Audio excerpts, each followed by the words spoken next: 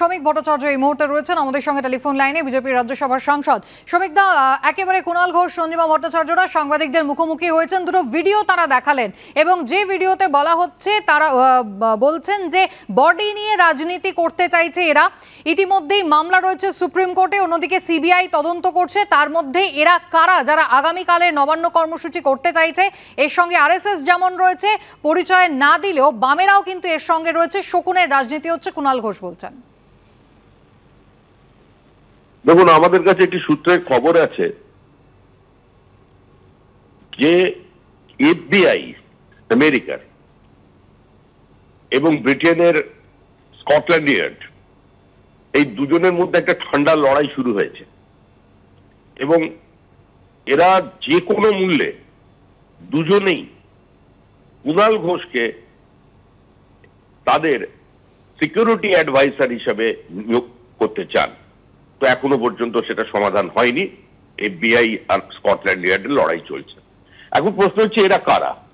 এরা তারাই যারা দু এগারো সালে তৃণমূলের একটা বজ্র কঠিন সংগঠনকে তৃণমূল ছাড়া সিপিআইএম কে উপড়ে ফেলে দিয়েছিল।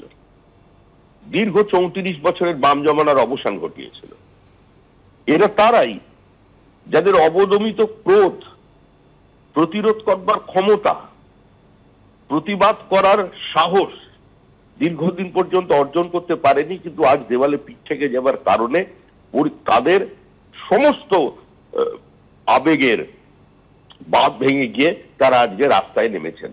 এখন কোনো আন্দোলন যখন স্বতঃস্ফূর্ত হয়, কোনো আন্দোলন যখন সর্বস্পর্শী, সর্বব্যাপী হয়ে যায়, কোনো আন্দোলন যখন সমস্ত রাজনৈতিক দলের বিভাজনের ঊর্ধ্বে উঠে একটি নির্দিষ্ট ঘটনাকে কেন্দ্র করে রাষ্ট্রশক্তির বিরুদ্ধে বা কোনো রাজ্যে কোনো সরকারের বিরুদ্ধে তাদের সরকার পরিচালনা, তাদের প্রশাসন, তাদের পুলিশ ব্যবস্থার বিরুদ্ধে নেমে পড়ে, তখন হতাশা এবং আতঙ্ক থেকে তারা এই ধরনের বিবৃতি দেন।